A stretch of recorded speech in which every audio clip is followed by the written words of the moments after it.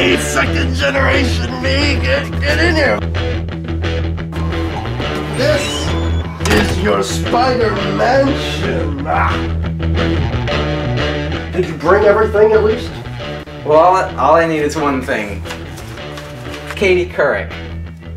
I like to have her in my wall so I can wake up every morning and see her beautiful face. Why? She makes me happy in the morning, waking up to see her.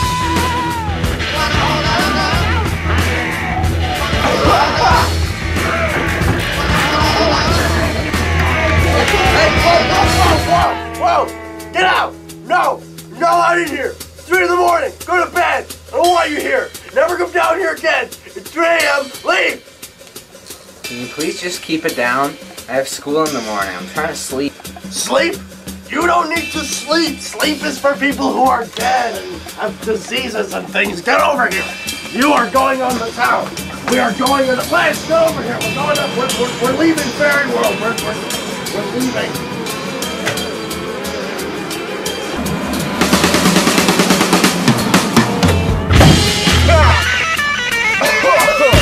How you doing back there, buddy? So there's this girl, right? Amy Dimeheart. She's this really pretty girl. She's got a boyfriend.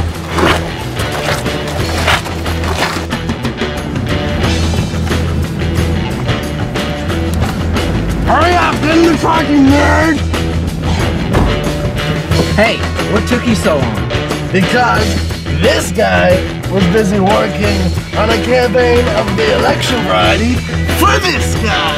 What are you talking about? Okay, remember Amy Nickelface? How would you like her around your face?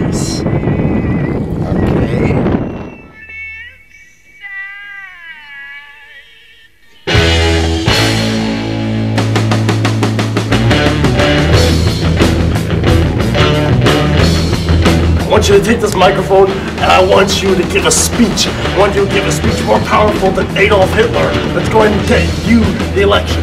Except you're not going to cause World War II or the Holocaust. Hello? My name is Erik Buczynski. Uh, I plan to change. Boom! Yo! Where my peeps at?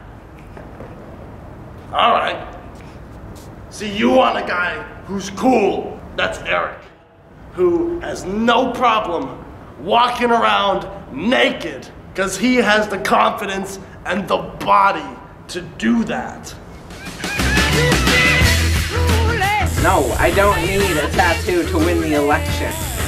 What? Oh! Ow! Ow! You ever been in a fight before, Erik? You're gonna get in a fight! Oh,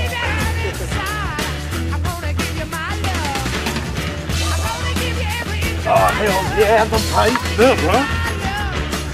What'd you do to Katie? Oh my god. No, no, you gave her devil horn. What's up, Ric Flair? All out of the house! Who is?